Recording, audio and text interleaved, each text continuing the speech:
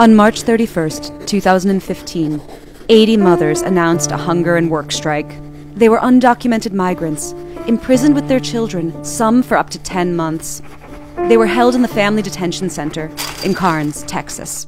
They were demanding freedom for their children and for themselves. The United States puts immigrants behind bars every day. They are locked up in a patchwork of government run facilities, for profit detention centers, and local jails. The vast majority of these immigrants are not criminals, but they are kept in conditions as brutal as those of any other prisoner, and they have fewer rights than if they were charged with a crime. There are currently over 34,000 people in immigration detention today.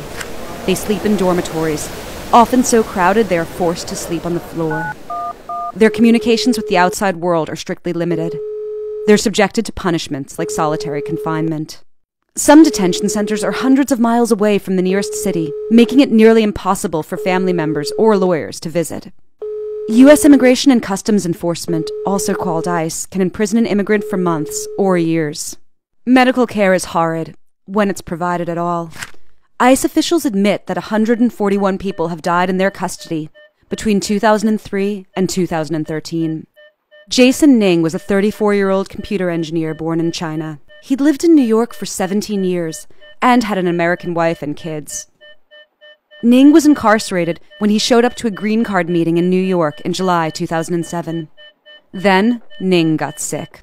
But the detention facility accused him of faking his pain, denied him treatment, and even dragged him in shackles to another detention center in another state to try to pressure him to accept deportation.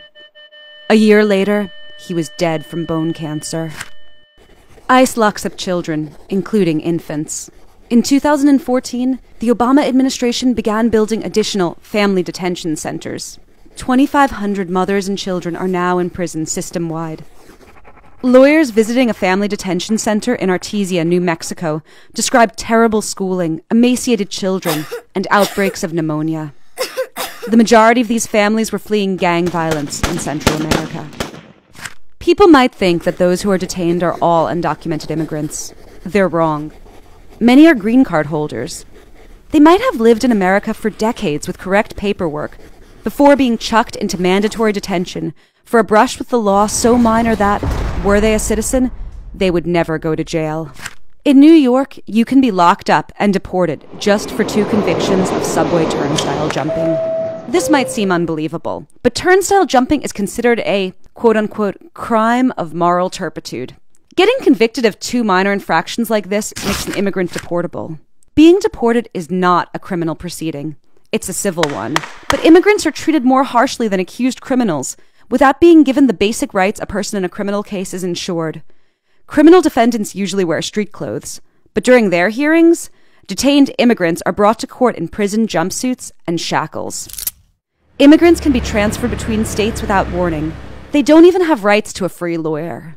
In fact, 58% of immigrants appearing in court have no representation at all, and the overwhelming majority of those who represent themselves lose their cases.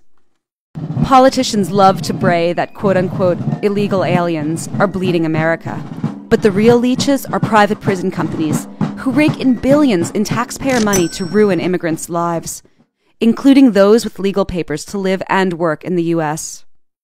Congress requires ICE to keep 34,000 immigrants behind bars each night in order to keep its funding. But out of the 350 facilities it uses to incarcerate these immigrants, only eight are owned and operated by ICE itself.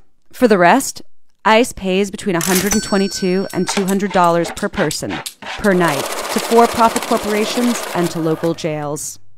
Last November, President Obama announced changes to his immigration policy saying that they would focus on deporting felons, not families. But each night, 34,000 people languish in immigrant detention. Some are green card holders, some are asylum seekers fleeing violence, some are mothers, some are children. They are behind bars, treated like criminals, even though by US law, being an immigrant, undocumented or otherwise, is not a crime.